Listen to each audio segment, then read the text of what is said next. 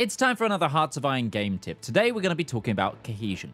The cohesion mechanic has three settings. Flexible, balanced, and rigid. The purpose of these three settings is to tell the AI how flexible or inflexible it's allowed to be with the placement of troops. With flexible cohesion, the AI will tend to move the troops around a lot to different ends of the line, whereas rigid cohesion will try to keep troops as close to its original position as possible. All three settings have their merits and are usable in various situations, but if you get annoyed at how often battle plans move your troops around, maybe you need to change your cohesion.